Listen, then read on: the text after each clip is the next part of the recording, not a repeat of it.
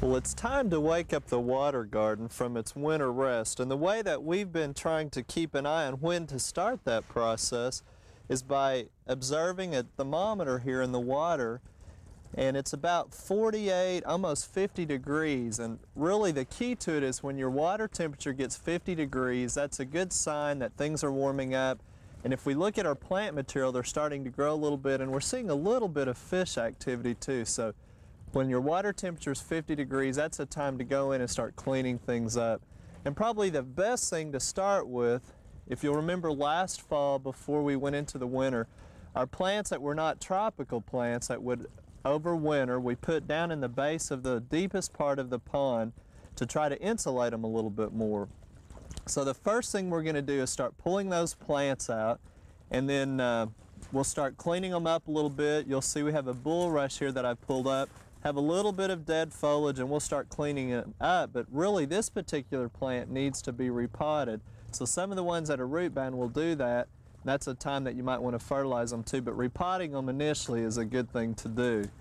Now, once we get all of our pots pulled up and we start repotting, get that part of it cleaned up, the next step is to take a skimming net and then go along in the bottom of the pond and you'll see there's all kinds of debris in here, leaves, pine needles, and last year we tried to put up a protective covering with bird netting to try to block any of the leaves from falling in there. Well, the pine needle still went through, so we'd need something a little bit finer. And eventually it just caved in and we weren't successful in trying to keep the debris out. So we need to get those kinds of things cleaned up as well. Now you have to be careful because remember we have fish that are hiding down in the center there. So you want to be careful and not to damage or hurt them when you're cleaning it up. The next step probably would then to be uh, either put in your water level to see if it's down a little bit. Ours is down almost six inches. But just out of curiosity, we went ahead to, and took a pH just to find out what was going on. Now, our pH test, we're using a meter here that's used for hydroponic growing to test the water solution. And when we check it, it runs anywhere from about 7.4 to 7.7. And the range for uh, pH in a pond should be anywhere from 6.8 to 8.5. Now you want to go ahead and test it this time of year because if you do have a lot of pine straw, oak leaves, pecan leaves, whatever, sometimes that may cause the water to be a little bit more acidic. And if your pH should run below, say 6.5, 6.8, you can apply one teaspoon of baking soda per 100 gallons of water per day and then check the pH every day. And once it gets up to seven point, then just leave it alone. Now, a lot of times we're going to come in here and add water to get our uh, water level back up. We'd also want to check the pH again after that. That may correct it in itself. But just out of interest, we wanted to see what it was running with all the debris in it, and so far things look pretty good for us. Now, when you're repotting your plants, Remember, you want to be careful that we took our tropical plants in the greenhouse and overwintered them because they wouldn't uh, withstand our cold winters. On the tropical plants, like some of the tropical water lilies, hyacinth, etc., it's still a little bit too cool to be bringing them out yet. You want to make sure that your temperatures are up around 70 degrees as far as the water temperature and that we're pretty stable and getting good 65 degree night temperature Fahrenheit and about 70, 75 during the day. And that would be when you would then bring the tropicals out. Also, now's a good time to put the filters back in, clean them up if, if you've not done so. Uh, we've got some in both our bog garden in here that we'll clean up. And then when we fill the water level up, since we're adding so much to it at one time, you need to dechlorinate it. And remember, there's all kinds of chemicals on the market that you can remove chlorine and chloramine.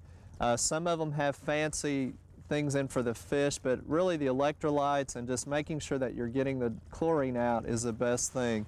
Now, if your water level dropped too much, some of the specialists recommend only putting in about 5% of the water a day to get it up so it's not too much of a drastic change in temperature for the fish or with your other chemicals. Now, speaking of fish, um, we've got our fish food out here. We've not fed them all winter long. Once everything's cleaned up and we have the water in, chlorinated, etc., dechlorinated, then we're going to go in and start training the fish again to eat because we will see some activity. And remember, one way to do that is you can shut off the waterfalls and that noise level will cause them to come up, or you can tap on the rocks splash in the water, but now we're going to start trying to train the fish to come up and eat for us again. And the last thing that you probably want to remember is if you should add more fish, be sure and check them for any disease problems. And if you're going to bring some in, make sure that you let the bags float again to stabilize the temperature. And also, some people even recommend quarantining the new fish that you're going to come in in another tank until you see that they're healthy and everything before you introduce them to a new pond. And that's strictly up to you. And then once these days start getting warmer, the sunlight comes out. Remember, it's very common for ponds, even ponds that are established, to get a new algae bloom early on in the summer or late spring. And if that should happen, keep in mind that if you have the appropriate number of fish, plant material, that those all together should take care of the algae bloom anywhere from a week to two weeks. If it lasts longer than that, then you may need to treat for that. But an early algae bloom in early summer is a normal process too. So we're going to finish up more of these steps and we're really excited about enjoying our water garden this year and I hope you have a lot of success with yours too.